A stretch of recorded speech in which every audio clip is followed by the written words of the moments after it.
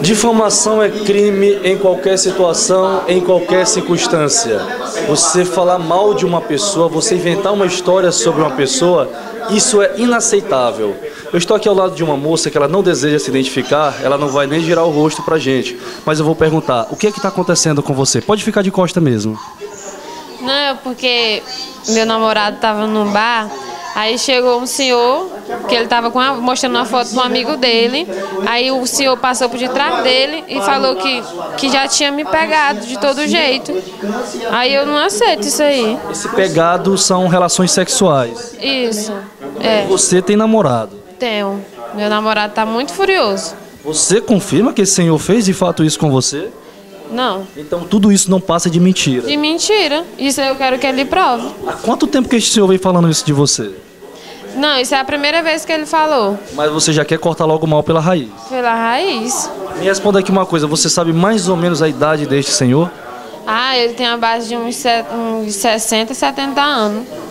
Uma base de uns 60, 70 anos, um homem já de idade, agindo desta forma com você? É. Isso é de deixar indignado. Hum, demais. Hum, velho desse aí vai pagar. O que, que seu namorado fala pra você? Ah, ele ficou com raiva, ele disse que não dava mais nós dois certo, não. Isso tudo acontecendo em qual cidade? Já aqui de Pedreiras mesmo. Quando você ouviu é, essas mentiras, essas difamações sobre você, o que foi, qual foi o sentimento que veio no seu coração? Ah, eu chorei demais.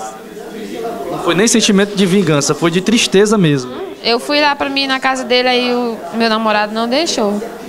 É verdade que a sua família também está totalmente constrangida com essa situação? Todo mundo. Né?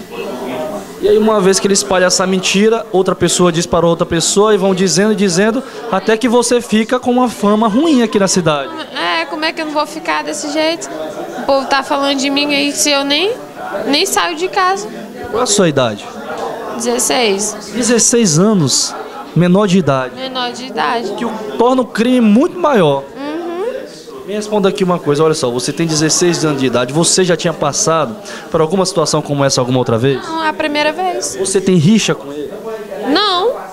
Do nada ele chegou e começou a inventar essas mentiras sobre você. Falei com ele, eu passo pra ir pra escola, ele tá lá sentado, mas eu nunca falei com ele, não. Ele já tirou até uma brincadeira de mau gosto com você? Não, comigo não. Mas do nada ele simplesmente chegou e começou a dizer que já teve relações com você. Aham, pegou e falou. O que, que seu pai e sua mãe dizem disso? Meu pai não sabe. Porque se ele souber. Seu pai nem sabe dessa história. Uhum. Mas eu percebo que você veio acompanhada de uma pessoa até a delegacia, a sua tia. O que, que vocês esperam das autoridades? Ah, quero que, que faça alguma coisa aí, porque isso não vai dar certo, não, sim. Para que ele pare de falar essas mentiras. Porque isso não vai dar certo. E é muito feio para mim. Esta é a situação.